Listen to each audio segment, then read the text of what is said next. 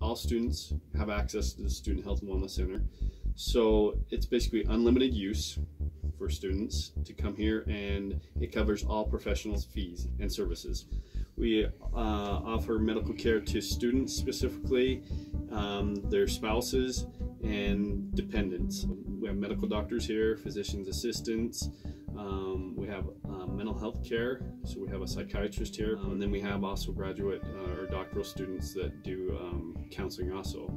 We also provide lab work, x-ray, physical therapy, health education. We have one dietitian and she's great. She's very, very experienced. Whether you want to lose weight, gain weight, maintain weight, build muscle, um, diet diabetes, uh, anything like that. We have student athlete mentors that volunteer with us and they're mentors within the athletic program. We offer flu shots here in the Health and Wellness Center.